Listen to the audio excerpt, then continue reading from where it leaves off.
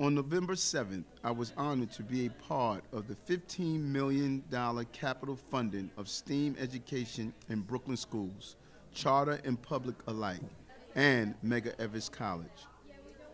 The investment we announced will go towards the creation of 11 hydroponic labs, three maker spaces, a culinary arts lab, and a creative lab for over 50 Brooklyn schools.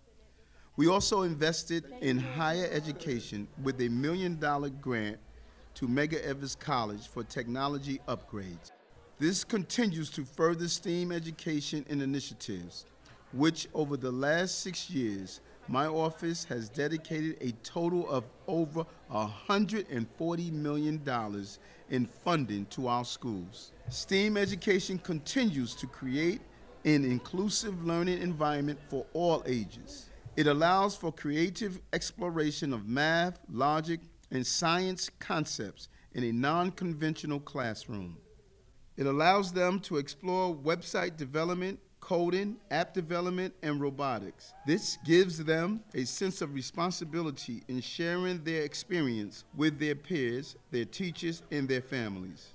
Education is the most valuable asset to building our communities and attaining a brighter future for our children and ourselves. And it is through STEAM education that we have been able to bring that future into the present.